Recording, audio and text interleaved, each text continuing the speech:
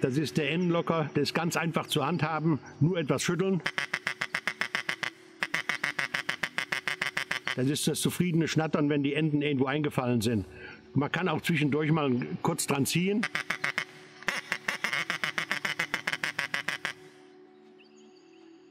Ein Klang so echt wie die Natur.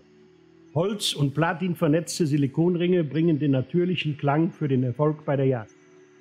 Perfektion durch Erfahrung. 40 Jahre lang habe ich alle Lockerinstrumente optimiert, um sie den hohen Anforderungen der Lockjagd anzupassen.